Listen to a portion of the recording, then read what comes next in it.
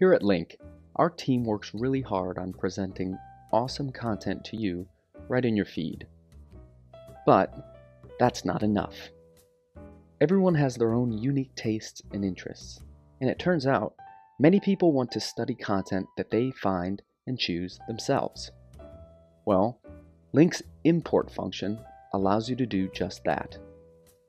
Whether you want to read an ebook on LingQ, study song lyrics, a Netflix series or a YouTube video, a Wikipedia entry on a historical figure, or a blog post on your most passionate topic in your target language, the import function allows you to turn it into a lesson on LingQ. And it's super easy to do. First, go to the web page of whatever you want to import to LingQ. I'm on Wikipedia, but it essentially works the same from any source.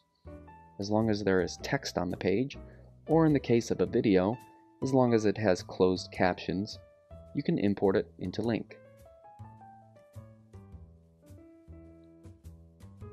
Click the Share button,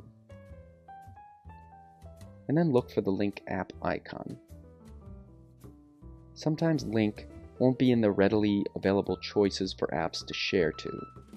In that case, scroll over and find the More button. Click More and scroll until you find the LingQ icon. Click on LingQ and the Import Lesson screen will appear. Choose your language, name the title of the lesson, and select a course or create a new course choose the level of the lesson, and click Save. Now wait for the LingQ importer to do its magic. Lesson is ready.